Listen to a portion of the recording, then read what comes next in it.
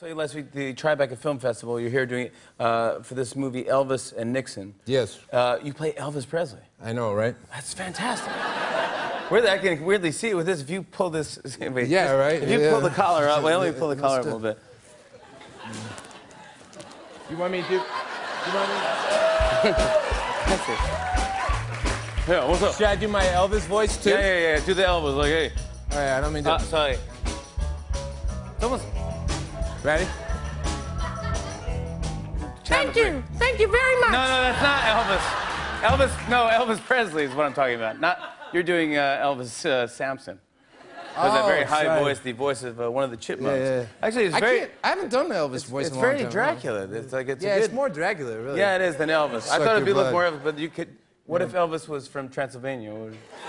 There are theories, there's speculation. Yeah.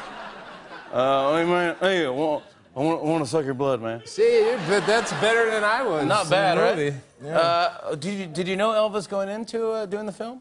yeah, we're close friends. Sorry. no, no, no. Did you know of Elvis? like El- did you Did you know of Elvis? Did you know of him? yeah, I, kn- I knew he was, but um, But did you know like did you study him? Were you a giant fan of Elvis Presley? uh, not particularly. But uh, I went down to Memphis and did what everybody probably imagines I would do. I went to Graceland, Sun Studios, all those things. Yeah. But I also went to this really interesting. Oh my God, my cape broke. No, no, no, it didn't break. All right. Um, you know, if, if you wanted to take something out on me, you could, an, a vendetta Just of some choke kind, you. Yeah, yeah, choke yeah. me out. No, people that wear capes don't even freak out like that. Yeah, yeah. Um, but he spent his uh, teenage years in this uh, housing project called Lauderdale Courts. It was one of the first housing projects uh, ever built in America. FDR put it up, I think. And uh, you can go to the apartment that he stayed in when he was a teenager, and you can actually go to his bedroom. And um, it's a little tiny room. The bed barely fits into it, and there's this never even heard of this. window looking on this very bleak uh, landscape. You can just imagine him sitting on his bed, looking out his window, wondering what the heck was going to happen to him. But the funny thing is, is the walls of this room are covered with lipstick kisses.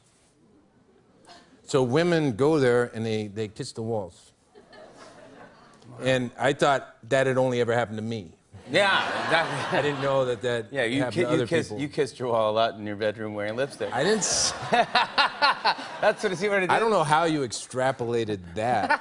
Um, I do like to wear lipstick. I know you don't. Let's not get into it. And now. capes. And capes as Yeah. well. I want to show everyone the picture of. Uh, Oh, This is a picture of you in the movie. That's not you. yeah. Hey, You, you look just like Elvis. No. That's a lot of uh, hair and makeup. It is. It is. Hey, he's kind of wearing a cape. I know, right? That's weird, right? I wish I had that belt still. Yeah. That's a nice belt. Then, do you have the replication of the photo? Yeah, here's that the photo did? right here. Hey, this is unbelievable. Maybe this is where I got Tried. my whole idea. Yeah, yeah, Wait, but this is where I got the whole idea to put my jacket as a cape. yeah. Yeah, I think so. You did this already. Yeah, yeah. You did this already. You are a genius. We love you. And uh, break a leg. I know. Thank you for taking your time. We love this guy. Michael, Shannon everybody.